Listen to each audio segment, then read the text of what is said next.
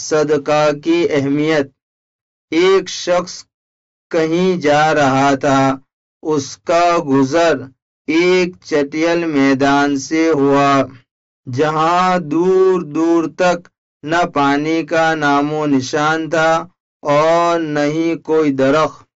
اس نے بادل سے ایک آواز سنی کہ فلاں کے باغ کو پانی پہنچاؤ۔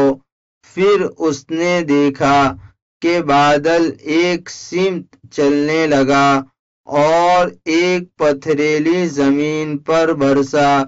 تمام پانی جمع ہو کر ایک نالی میں بہنے لگا۔ وہ شخص ابھی پانی کے ساتھ ساتھ ہو لیا۔ پانی ایک باغ میں جا کر جمع ہونے لگا۔ اس کو ایک شخص باغ میں کھڑا ہوا نظر آیا، جو کدال سے پانی کو اپنے باغ کی طرف پھیر رہا تھا۔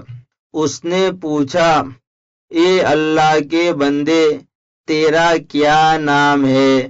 باغ والے نے اپنا نام بتایا۔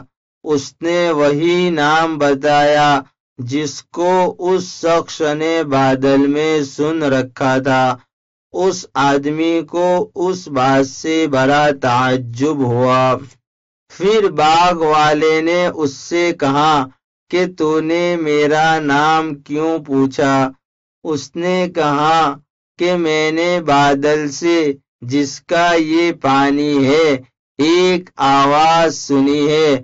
جو تیرا نام لے کر کہہ رہا تھا کہ فلاں شخص کے باغ کو پانی دو، پھر بادل سے پانی برسا، وہ تمہارے باغ کی طرف آنے لگا۔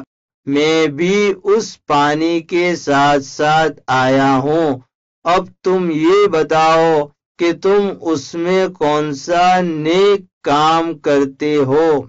اس آدمی نے کہا، جب تم نے پوچھ ہی لیا ہے تو سن لو، اس باغ کی تمام پیداوار کو میں تین حصوں میں تقسیم کر دیتا ہوں۔ ایک حصہ اللہ کے راستے میں صدقہ کر دیتا ہوں۔ ایک حصہ اپنے گھر والوں کی ضرورت میں رکھتا ہوں۔